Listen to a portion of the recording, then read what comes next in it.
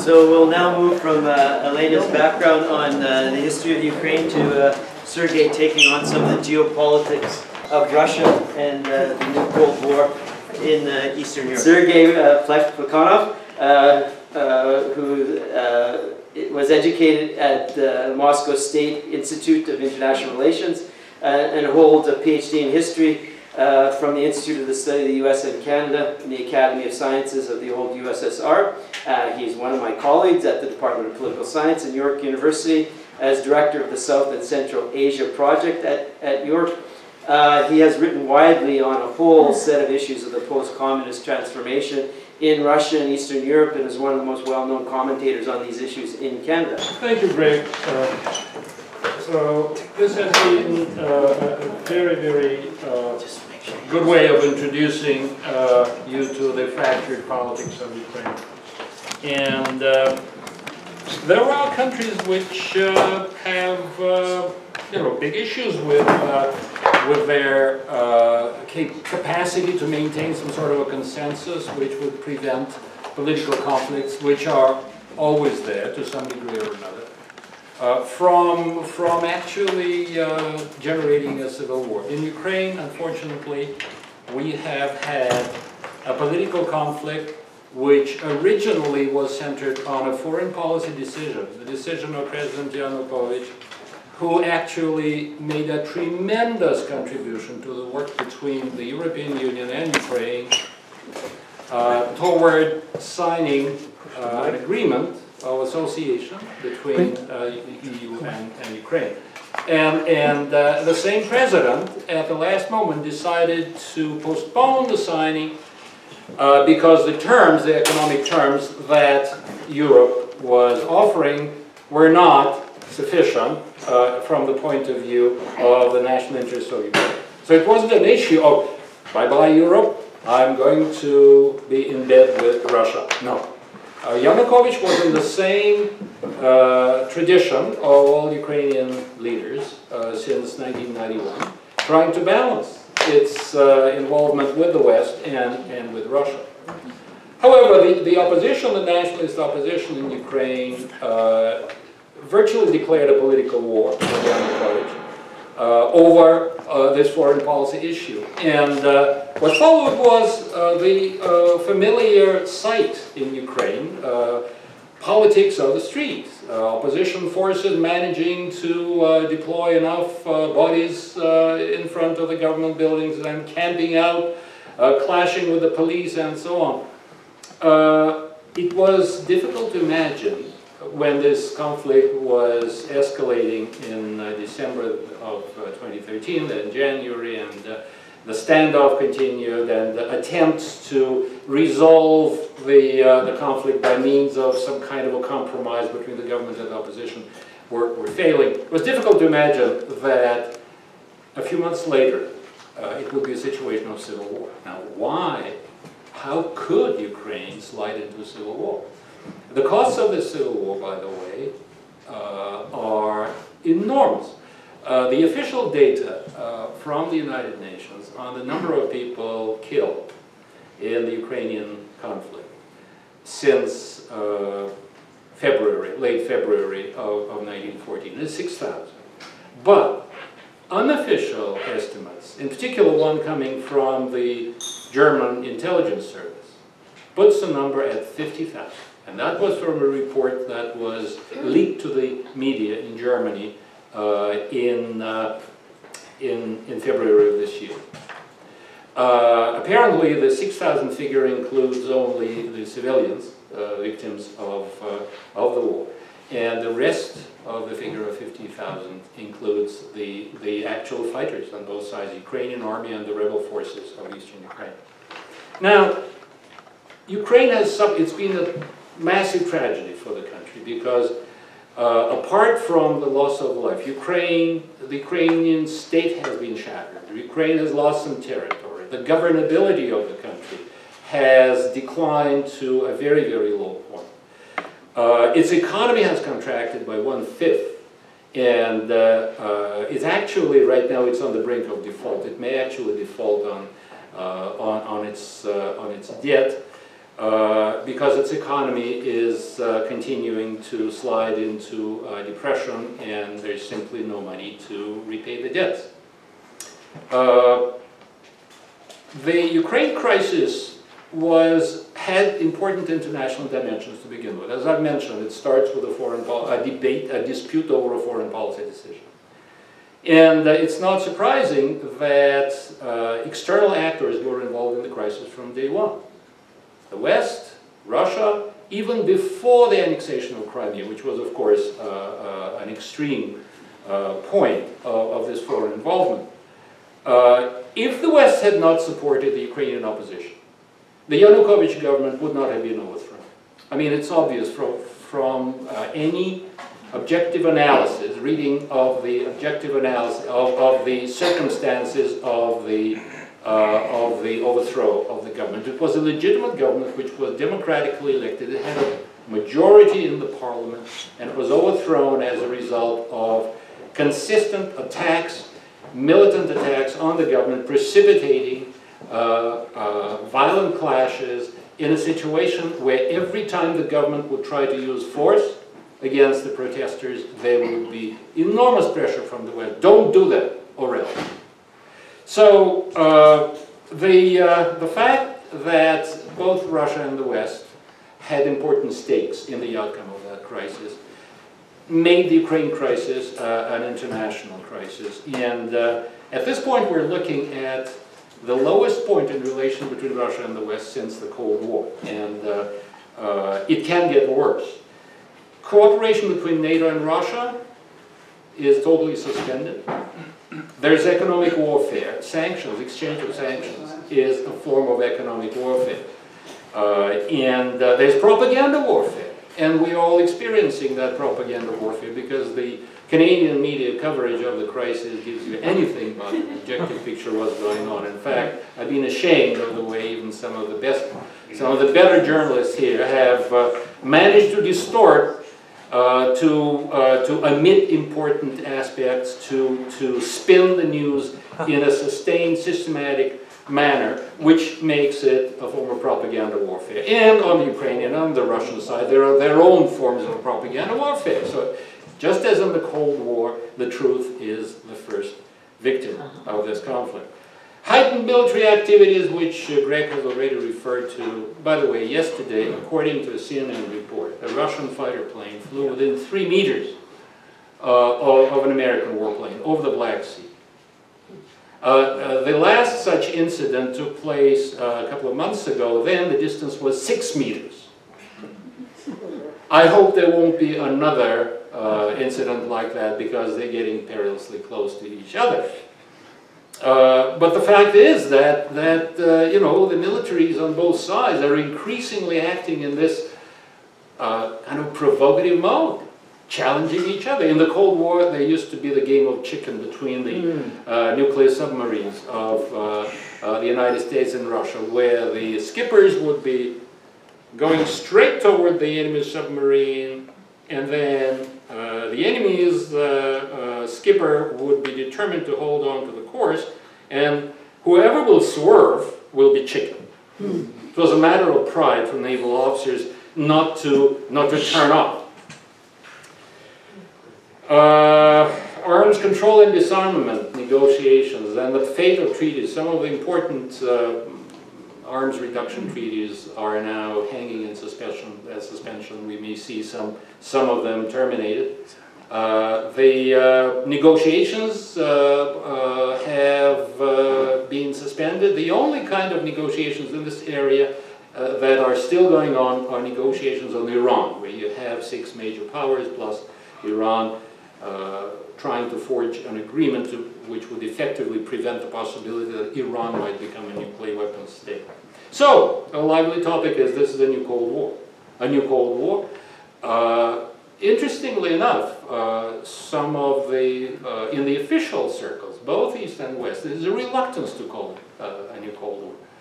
And uh, the thing that you, the argument which you usually hear of why it's not a Cold War, they say, well, you know, it's no longer between communism and capitalism because Russia is a capitalist country. The ideological conflict is no longer there. A major dimension of the Cold War was Russia's challenge to capitalism as a socialist state. Now, Russia has about abandoned socialism.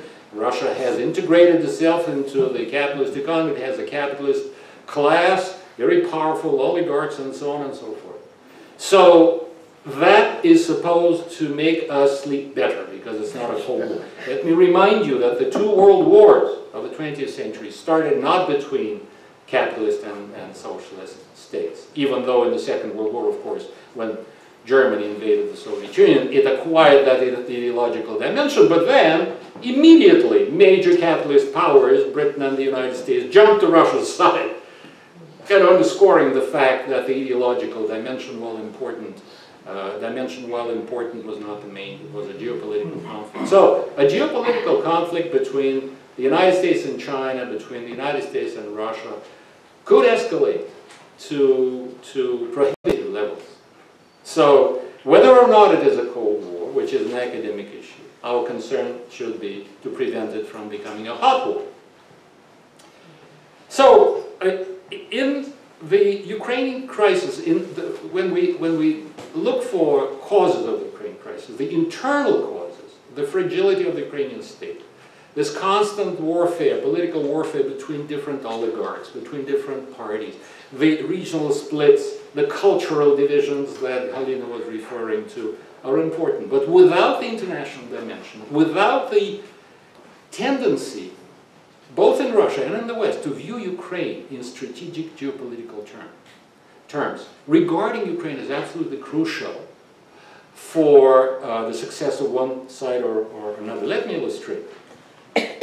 Zbigniew Brzezinski, in a very influential text, which is called The Grand Chessboard, published in 1997 and uh, widely read by politicians, both in the West and in Russia, as a kind of a definitive text on the rules of modern geopolitics after the Cold War.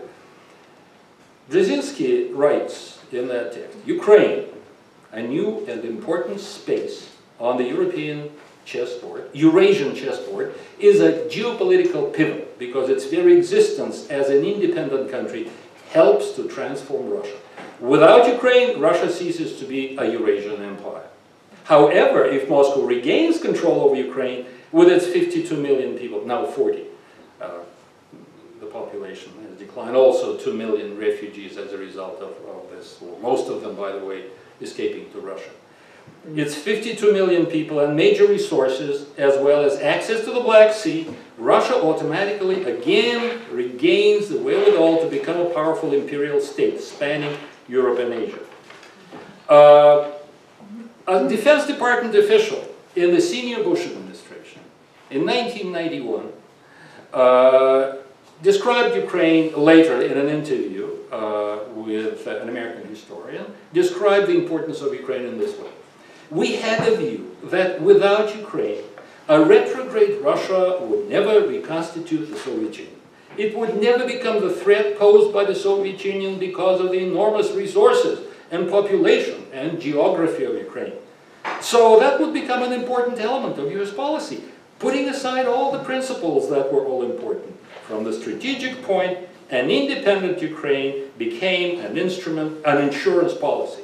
An independent Ukraine, which means independent from Russia, doesn't mean that it should be independent from the West. No, if it's dependent on the West, that means independent, because only free nations join the West, as we all know. Uh, another very interesting quote. This, guy, this is very recent. George Friedman is the head of a famous uh, organization called Strategic Forecasting, or Stratfor. Uh, very influential non-government organization in, in Chicago, which pro provides on a daily basis analysis of important world events. Having visited Moscow in uh, January of this year, Friedman, uh, uh, on a, during the visit to Moscow, he gave an interview where he was quite frank about uh, the zero-sum game that is inevitable between Russia and the West over, over Ukraine. This is how he put it in that Moscow interview. At the beginning of this year, there existed in Ukraine a slightly pro-Russian, though very shaky government. That situation was fine for Moscow. After all, Russia did not want to completely control Ukraine or occupy it. It was enough that Ukraine not join NATO and the EU. This is, by the way, incorrect. The, uh, the EU issue was manageable. Russian authorities cannot tolerate a situation in which Western armed forces are located a hundred or so kilometers from Kursk or Voronezh. These are major Russian cities in Western Russia. The United States, for its part, was interested in forming a pro-Western government in Ukraine. It saw that Russia was on the rise and was eager to let it consolidate, it was eager not to let it consolidate its position in the post-Soviet space. The success of the pro-Western forces in Ukraine would allow the United States to contain Russia. Russia calls the events that took place at the beginning of this year, I mean, he was speaking in, in December 94, so it was referring to the winter of 19, uh, 13, 14. At the beginning of this year, a coup d'etat organized by the United States.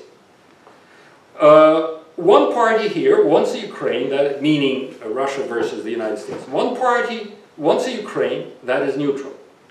The other wants Ukraine to form part of a line of containment against Russian expansion. One cannot say that either party is mistaken. Both are acting based on their national interests. It's just that these interests don't jive. The bottom line is that it is in the strategic interests of the United States to prevent Russia from becoming a hegemon. And it is in the interests, in the strategic interests of Russia not to allow the United States to come to its border. I don't think you can put it in, in, in simpler terms. Uh, but this describes the American perspective. What about the perspective of the Europeans? Angela Merkel and uh, Francois Hollande, the, the, the Europeans in general. In a remarkable new study of the Ukrainian crisis, written by Richard Sakwa, a highly respected British academic specializing in Russia and Ukraine, it's called Frontline Ukraine, highly recommended book. Uh, he, he actually criticizes uh, the European Union for pursuing a policy with regard to expanding the Union eastward uh, in a way which would exclude Russia in effect denying that Russia had any legitimate interest in uh, the former republics of the Soviet Union to the west of Russia, Ukraine being the most important case. So uh, Sakwa describes it as, uh, in, in, terms of two possible projects of Euro European expansion. One is wider Europe, the other is greater Europe. Now wider Europe was the project adopted by the European Union. Wider Europe means that Brussels remain in charge remains in charge. So Brussels, con Brussels continues to expand the realm of the European Union, enforcing the rules of the European Union, further and further eastward, and Russia would just have to swallow it and adapt to it. Now, the greater Europe uh, is based on a different premise, and it uh, uh recognizes that there are multiple polars, poles of, of power and influence in Eurasia. So if you want to incorporate Russia in a greater Europe, you have to respect Russian sovereignty, Russia's interests, and so on. You can't regard the Russians as, you guys are in the way, why don't you just move over? Because we are expanding into Ukraine. So he uh, writes in his book, instead of concentric rings emanating from Brussels, weakening at the edges, but nevertheless focused on a single center, Greater Europe posits a multipolar vision with more than one center and without a single ideological flavor. This is a pluralistic representation of European space and draws on a long European tradition, the vision of pan-European unification. So, if the European expansion project had been based on the notion, on, the, on the, this view of greater Europe, which is inclusive and pluralistic, as opposed to wider Europe, which is very monistic and very much hegemonistic from the point of view of, of uh, the EU, uh, Ukraine crisis would not have become the tragedy that, that it became. So we're looking at a zero-sum game between Russia and the West. And uh, it's obvious to anyone uh, who knows anything about Ukraine that if you play zero-sum geopolitical games over Ukraine, that destroys Ukraine. That destroys Ukraine. Uh, ten more.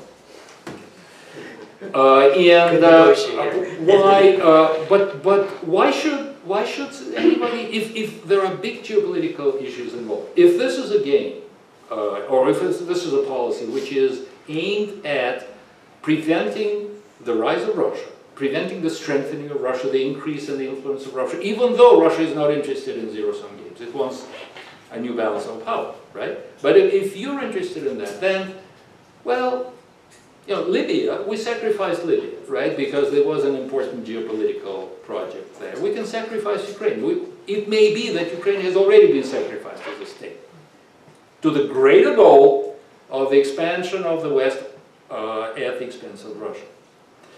So, uh, now, the deeper meaning about the, of, of, of this conflict is that it's an attempt of the Western elites to prevent the erosion of Western power. And that erosion is going on. We know it. This world is sliding toward a different distribution of political and economic power. It's called multipolarity polycentrism. China is rising. The central global, so is India, so is Brazil the distributional power in the world is going to be more pluralistic. It's not going, the West is not going to be able to maintain the stranglehold that it has, the dominance that it has. And it, in fact, it was a false perception of what happened in 1991, when, as a result of the Soviet Union being dissolved, by its own leaders, by the way, was not dissolved by the uprising of the people.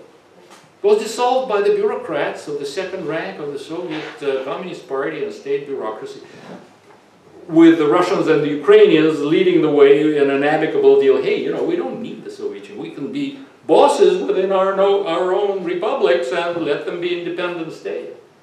no, no bad feeling toward each other. It's a shared interest. And then we both integrate into the global economy in Western terms, you know, according to our own interests and uh, uh, peculiarities.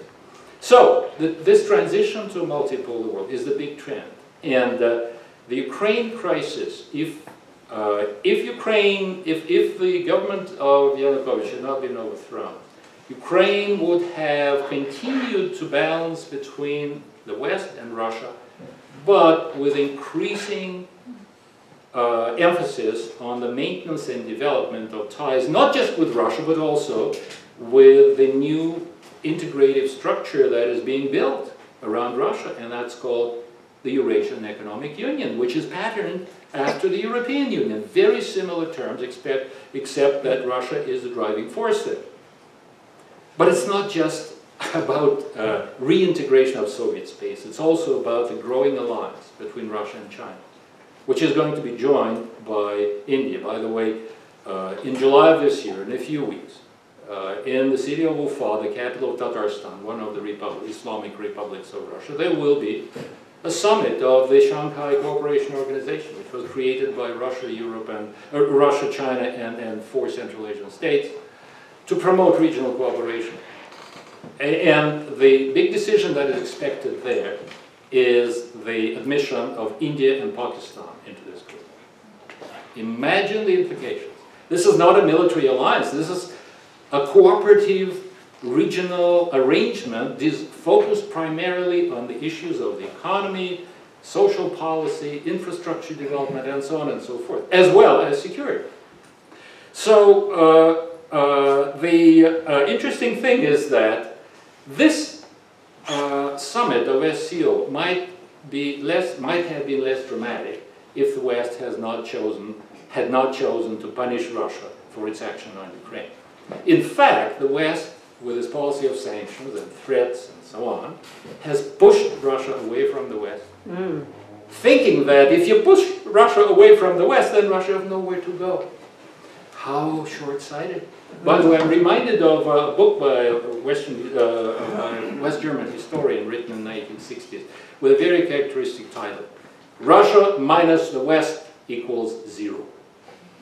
And it's actually, the, the whole text is devoted to the importance of the European ideas in the rise and development of the Russian state, which is, by the way, 1200 years old. And indeed, yes, Russia has uh, imported a lot of ideas, not only from the West, but also from the East. But being a great Eurasian state, it has very important other interests than selling gas to the European Union. In fact, we're now witnessing a possibility that Russia might, might stop selling gas to the European Union altogether and okay, let them buy liquefied gas from the United States and pay twice the price, but then it will be all within the unified West, which is protecting its sacred borders from, uh, from Russian threats uh, because there are big markets in the East. So the, the interesting thing here is that uh, this, uh, this conflict between Russia and the West is recognized by both sides as something which is not desirable, and yet that's something that is inevitable. Which reminds me of the mindset of many political leaders of 1914. Nobody really wanted a big war. And at the same time, they were acting as if such a war was inevitable. So action, reaction, process, how can I not respond, says Obama, uh, in, in response to uh, the decision of Russia to annex Crimea, based on the uh, free expression of the uh, will of the people, but still annexation. So how, that's an intolerable threat to the world order, a blow to the world order. So whoever does that must be punished, all right? Okay? Then, but, so what would be the Russian response? Yes, sorry, we did that, but we had to do that because we had important interests involved and so on. We didn't want NATO to capture uh, Crimea, which might have been the case if we had not intervened, and so on and so forth. But expecting that Russia will be meekly accepting the Western punishment without responding, without doing anything in other directions of its foreign policy was very short-sighted. So the process of the devolution of world power, which to some degree, I would say to a great degree, uh, precipitated the Ukraine crisis, has actually received new impetus from that crisis. So it is the growing rift between Russia and the West, which I'm sure can be repaired uh, because both sides are very wary of allowing the conflict to escalate much too much because we're looking at really massive nuclear arsenals on both sides, right? Deployable uh, uh, on a minute's notice. Uh, if, but this rift which is growing is actually a manifestation of the global transformation. It's not just about Ukraine. It's not just about Russia and the West. It's about the world which is falling out from Western influence. And I think that it is difficult, it's difficult for me to imagine any major event that would reverse this process. So the choices for the West are to gradually adapt to this shift and manage it, making sure that its interests are not unduly damaged in the process. Uh, the other option is to be ready for a war. Yeah. And I think that any sign, uh, any, any sane uh, political leaders would prefer it. And I think that, again, that remains the preferred choice. But things may get out of hand despite what our leaders have in mind, despite their best plans and so on, because Ukraine has over 40 million people. It's the second largest country in Europe in terms of territory, and there's a civil war continuing there.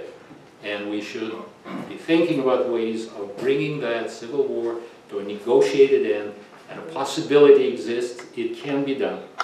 But it can only be done if the leaders in Washington and Moscow sit down and forge a deal. Thank you.